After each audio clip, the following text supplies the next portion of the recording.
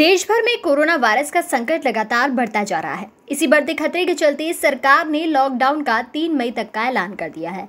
लेकिन corona virus से निपटने के लिए पूरा देश एक हो गया है।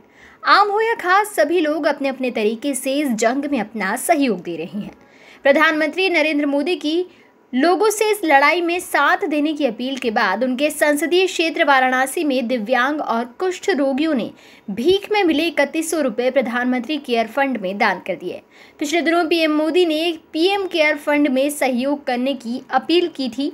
जिसके बाद देश भर से कई बड़ी हस्तियाँ समेत आम लोगों ने भी अपना योगदान दिया। बता दें कि आपको जानकर हैरानी होगी कि वाराणसी में रहने वाले 35 परिवारों के 50 वो लोग भी आगे आए जो सड़क किनारे मंदिर के सामने बैठकर भीख मांगते हैं।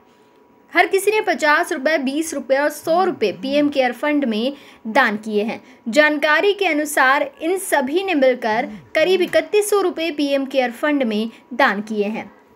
आपकी जानकारी के लिए बता दें कि कोरोना वायरस के बढ़ते खतरे को देखते हुए प्रधानमंत्री नरेंद्र मोदी ने देश में लॉकडाउन तीन मई तक बढ़ा दिया है। इस बात की जानकारी पीएम मोदी ने आज यानी मंगलवार को देश को संबोधित करने के दौरान दी है।